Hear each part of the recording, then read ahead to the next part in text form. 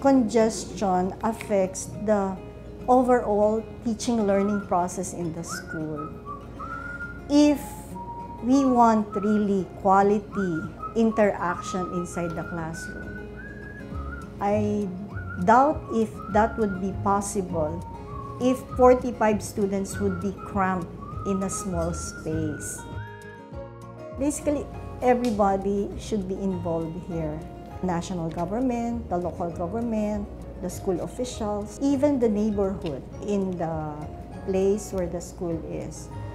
Each one has a role to play so that we can really provide a good environment. The standard size classroom with a standard number of learners, maybe less than 40, where there are enough uh, equipment for the teachers to be able to deliver well their, their lessons.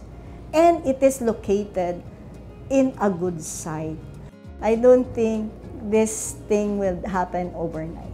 We're starting right now with the help of the program.